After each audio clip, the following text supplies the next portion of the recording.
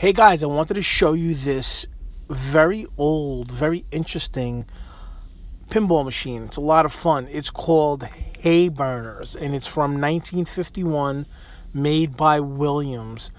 And this is one of those machines where people would say pinball machines, you know, they're gambling devices. This is what you had back in the 50s, even the 60s. Uh, they would say pinball machines were made for gambling and how this machine worked was you would pick a horse. You would say, I want number six horse to win. And how the horses would move or advance, because up on the headboard you had six horses, and every single time you would bounce off of a pop bumper, the horse would advance. So there's six horses, and you see six pop bumpers. I call them bells. I don't know why when I was a kid we called these bells.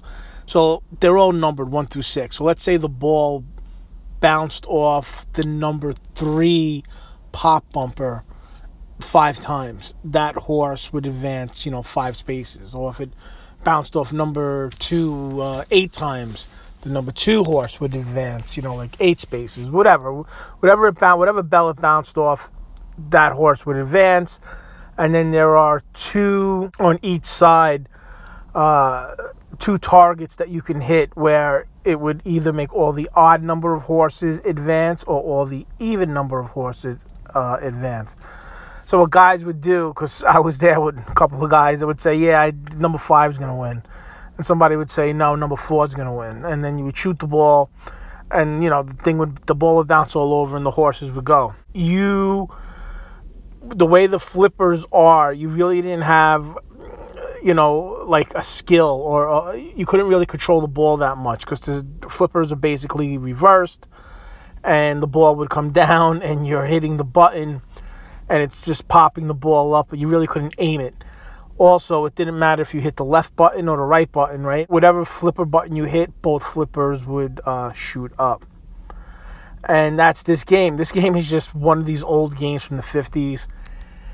A lot of fun. I enjoyed it. You have to push the lever to push the ball up. So you start the game, and then there's another little lever under the plunger where you push that and it scoots the ball up. Now, one of the other things you could do is you can keep pushing that button in, and you can get like four or five balls up on the play field at once.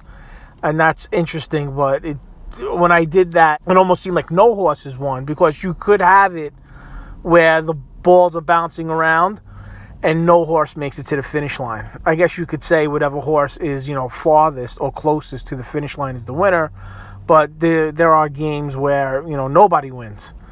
Um, fun game, something you don't see a lot. This is at the Silver Ball Museum in Asbury Park, New Jersey, which is a place that you want to visit. If you like pinball and arcades, it has hundreds of pinball machines that are from you know, the 50s up till today.